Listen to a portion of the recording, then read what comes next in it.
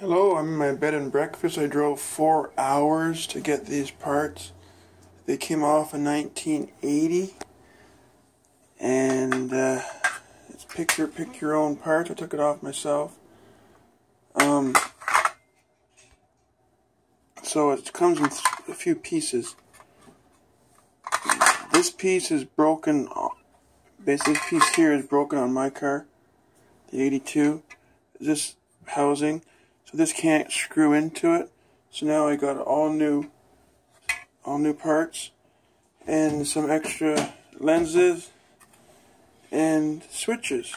So it is a great find to find these not broken.